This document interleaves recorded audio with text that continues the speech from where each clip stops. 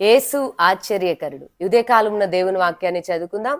నూట మూడో కీర్తన పదమూడో వచనాన్ని చదువుతున్నాను. తండ్రి తన కుమారుల ఎడల జాలిపడునట్లు యహోవా తన యందు భయభక్తులు గల వారి ఎడల జాలిపడును.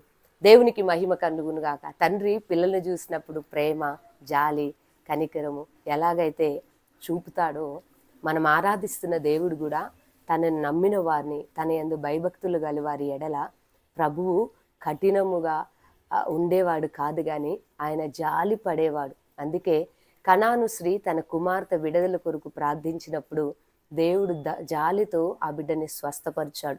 ఈ రీతిగా మనం బైబిల్ గ్రంథంలో అనేక మంది భక్తులను మనం చూసినప్పుడు వారి జీవితాల్లో దేవుడు కనికరము చూపడంను బట్టి వారి యొక్క ఎడారి లాంటి జీవితము ఒక నీటి ఊటగా మారడం మనం చూస్తున్నాం. ఇదే కాలంలో దేవుని బిడ్లారా ఎక్కడి నుండి ఈ వాక్యాన్ని నువ్వు వింటున్నా?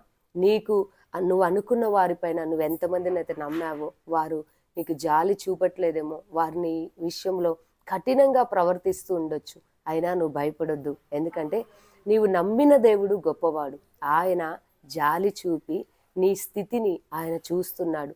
ప్రతిదీ కూడా ఆయన గమనిస్తున్నాడు. కాబట్టి నీకు కలిగిన ప్రతి వాటిలో నుండి నువ్వు దేనైతే బాధపడుతున్నావో వాటన్నిటిలో నుండి విడిపించి ఆయన జాలి ద్వారా ఎదుగో ప్రభువు నిన్ను నిలబెట్టబోతున్నాడు.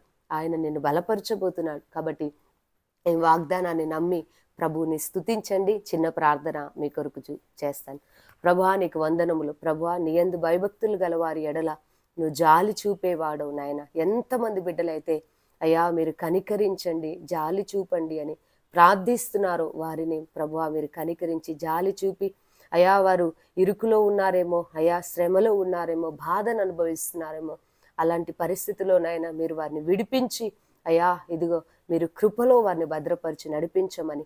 అయ్యా ఎంతమంది అయితే మనుషులు జాలి చూపక కఠినమైపోయి బిడ్డల జీవితంలో బాధను అనుభవిస్తున్నారో అలాంటి బిడ్డల్ని మీరు విడిపించిన ఆయన మీ జాలి వారి ఎడల చూపి నడిపించమని ఏసునామంలో ప్రార్థిస్తున్నాను తండ్రి. ఆమెన్.